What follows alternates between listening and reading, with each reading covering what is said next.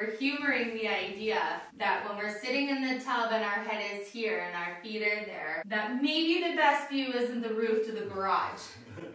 that maybe the better view is to flip it and look that way at the greenhouse and the beautiful garden that will be there. Yeah. So we're thinking that that's the reason. We're gonna try to see if we can pivot this just to see what it looked like. Then we're gonna move it completely in a different spot in the bathroom today so that we can restore this old clawfoot tub. This thing is so heavy. Yeah, it really is. okay, I'm committed to the idea of changing the location. Oh, I thought I had the heavy end yesterday.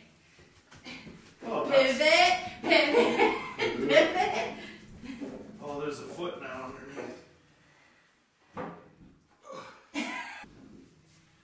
I think you gotta hold it so it doesn't tip. Like you put your Oh. Okay. If I'm standing at the doorway, I feel like I liked that the faucet's on this side, but now the tub looks super awkward with the leaning part on this side. So I'm not sure. Let us know what you think.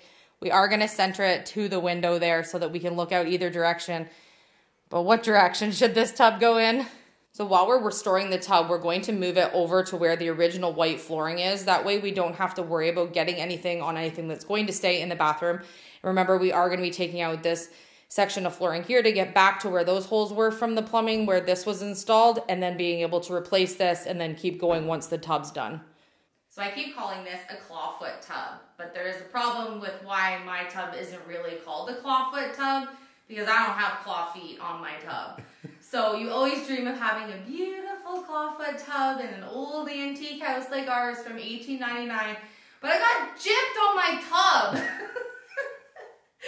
I feel a little tub envy of all the really nice clawfoots that have the feet that are actually the little claws. And mine have stubby little stumpy feet. And I would love to think that this is just bubbly like this because of so many years of so many layers of paint but the reality is is that this would have to be painted every day of its life since night or since 1899 for it to be this chunky on the bottom. So for me to soak this and hope and pray that there's claw feet under there would be such a waste of time and I just know that I don't have a claw foot, actual claw foot tub. We've been thinking overnight what are we going to actually do to the tub? We are going to be adding some color into this room just with like textiles, rugs, towels, things like that. We want to keep this room pretty neutral with the white and gold and the wood tones. Our plan was originally to do, of course, gold fixtures. We can't leave these chrome now that we have gold going on. But it does have the beautiful like porcelain spinny knobs and the handheld that we got for it is going to fit this perfectly because the handheld on this tub is broken. So we have the new um, hose with a handheld on it that has the white porcelain and the gold on it already. So that's going to be really nice and it's going to look gorgeous. And of course, as you mentioned from yesterday's comment section, the plumbing that you saw that would run down the back here is also going to be the metallic gold. So it's going to be gorgeous. Was thinking completely white and just do gold feet. But my feet are so not detailed. And if they were those beautiful claws, then how beautiful to make them the antique gold. But now I just feel like I'm accenting something that's just like a bubbly stump. So maybe this tub needs a little bit more than just painting all of this white and then just doing the gold feet. So I'm thinking maybe we just make a gold tub. What? Philip last night suggested we were looking up clawfoot tubs. There's some that are really cool copper. There's some that are painted black on the bottom. Some are kind of this like tan color that they already kind of tried to do on this tub, which I actually do like, but I don't want to keep it the same just because we're refreshing the bathroom. So what if instead of focal pointing only the feet, we joined the feet with the base and we did the metallic gold here and here and then our restore kit for the white on the inside with the gold faucets. Worst case scenario, we don't like the gold and we paint it over with white. I mean, I'm risking a $10 thing of spray paint to see if this could be ultimately dreamy or need to go back to basics with the white. I'm willing to give it a try. What do you think? Oops. First things first. Don't start with oops. it's okay. I can fix it. First things first, we need to take this off so at least you can prep and paint. This faucet, I believe, has been here for a very, very long time and it's all functioning, which is lovely. But the handheld was broken, so I will show you the handheld that we got to be able to replace what was already there. I tried to match the kind of look of the age of it and the coloring and everything as best as I knew that it would look once I did the metallic gold on it. And keep in mind, maybe spraying faucets isn't like going to be the most durable forever and ever and ever more, like we did our shower one over here. But when these fixtures are no longer working, we can upgrade and pay the really expensive price to have ones that actually come antique gold. But we're trying to do this on such a tight budget that just to be able to prime them and use the metallic gold on them, this tub is not something that's going to get used every day. We don't use the tub very often. We have this past two years because we didn't have a shower, but now that we have a shower stall, we barely ever will use the tub. I honestly still can't even believe that the tub is not in the middle of the room now that we disconnected it. We waited way too long to do that. We might even need to pick up a new rubber seal, but they'll have them when we get the rest of the plumbing pieces we need. It is a beautiful faucet. So it appears that previous owners have painted this tub, and so I'm really curious to know how bad was the tub under what they painted. I do know that the tub looks terrible even after they painted. It's been very stained since we got here, and I'm sure after wear and tear of us being here, some of the paint is now chipping off. I don't even know if they used the right paint. So it might be interesting to see how hard it's going to be to get this enamel paint that I think it is off of this tub. But you can see where it's peeling off where you see it more looking blue. That's the original tub underneath and this is the paint that they used.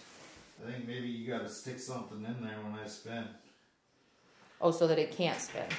Allow solution to remain on the surface for 30 to 60 minutes. Do not allow the product to dry on the surface. Okay, so I tried to find a stripper that wouldn't be as abrasive as like a paint stripper, you know, than the big metal cans that like will stink up the whole house. I don't know. Try to do this as eco as possible, but still get the results that I need. This is what we're starting with. I mean, I don't know how much worse it can get than this. And God only knows what paint that they used. So should I just try a section, but then we have to wait? No, do the whole thing. You might as well It is go what it is, right? go in, go all out. Yeah. Gloves, and I'm ready. I think I left gloves up there.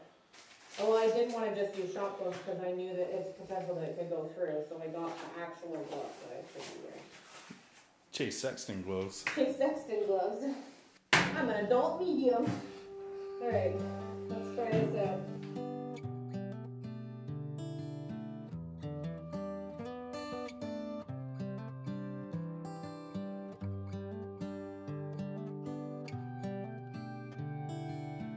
Gonna leave it for 30 to 60 minutes and see if this will start pulling some of this off.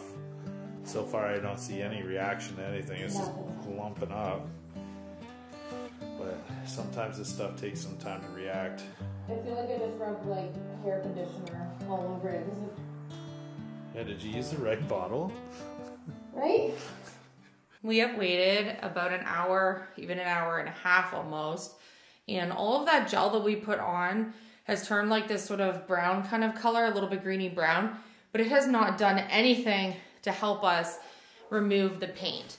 So that's part of the problem when you're doing home renovations that products that are advertised for certain things, you spend money on them and then they end up not doing anything. So some of this scraping in the middle here, I used a little flat scraper just to see if I could get a little bit more of it off and it's not budging at all. So we just ran to the hardware store to go pick up something else and hopefully, fingers crossed, this works. So I'm going to put the camera down and film myself doing this because I don't want Philip in this bathroom while I'm going to wear a mask putting this on. And then we're going to evacuate the room, seal up the door. The window's already open. We're going to leave it for an hour and then we're going to come back and see. Hopefully, it's going to have done something. So I'm going to use this instead. And I have used this in the past, I think years ago, doing something with furniture. This stuff is strong and this stuff is smelly, but hopefully it will do the trick.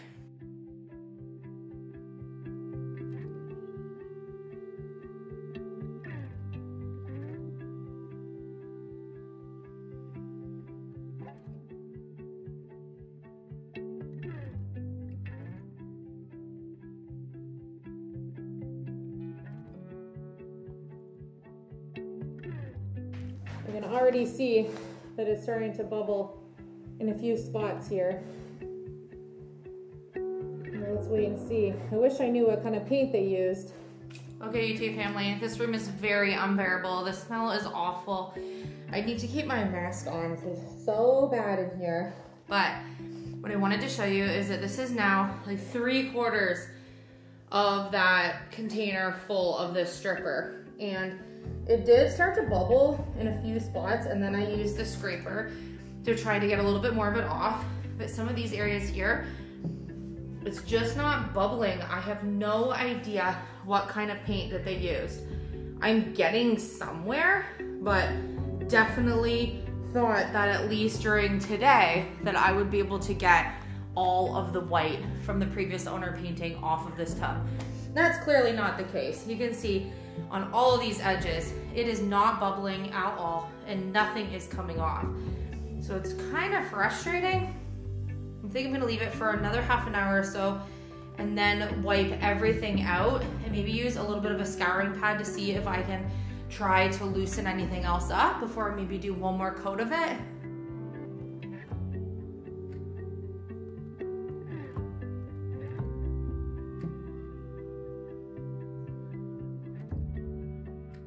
Okay, it's now evening. I'm just taking my mask off for a second. I'm trying to let this place air out.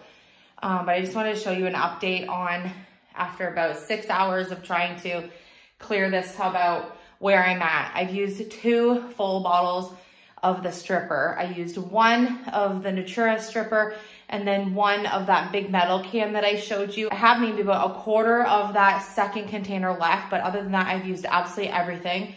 I've done multiple applications. I've tried where when we first got here, we clearly had some of the gel from the previous stuff on, so I didn't know if the second stuff wasn't working because it was counter reacting. So I wiped everything all out and just used the second stuff. Now I've just done the second stuff and I don't know, I don't even know how much progress I'm at at this point to even give you a percentage, but I don't know how many more containers of this I'm gonna have to buy to actually get this completely cleared out. Okay, I'm gonna show you where I'm at. Okay, so this is my underwhelming response of doing all of that stripper today. So much scrubbing, so much scraping, almost two full containers of stripper. And this is where I'm at. Honestly, super frustrating. I know I will get it there and it's going to look amazing when I'm done. But it's so frustrating to feel like you're wasting money and feel like you're wasting time and energy on something that may or may not be, but I'm determined to make this tub look good. It should surely be working better than this after all of that. So I was hoping today to obviously get to at least having the top completely stripped so I could start sanding the bottom and prepping the bottom with even a primer and then being able to do at least the prep kit for the inside of the tub. Clearly underestimated how long this is going to take me to get the inside done. I'm not discouraged where I'm going to stop, but I am frustrated and I need to just set this down for the day. And so I think the best solution for me is to just leave this overnight, give it another really good thorough clean in the morning and do that last quarter of a jar that I have of the second stripper. See if now that everything is out and everything's dry, if it will activate and bubble up some of this paint, but if not, I think my option is gonna be sand this whole tub right down to the actual original tub material that's there.